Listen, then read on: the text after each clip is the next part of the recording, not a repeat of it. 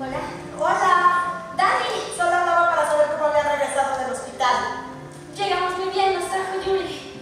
Oye, jamás pensé decirte esto a ti, pero gracias por estar ahí.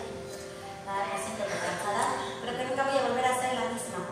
Creo que ninguna de las cuatro vamos a volver a ser las mismas.